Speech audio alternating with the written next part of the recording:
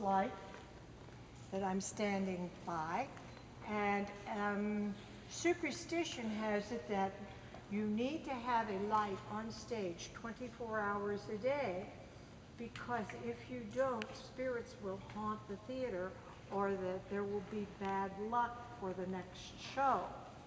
But if you look around you, you will think, oh, I think you'll agree, it's a real practical reason. Do you see any windows in this building? No.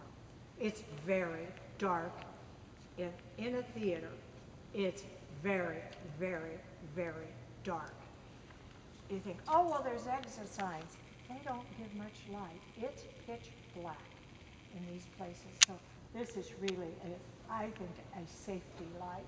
Because if someone would come in or would be leaving the theater after having turned off the lights, you could easily fall off the stage, you could fall up the steps.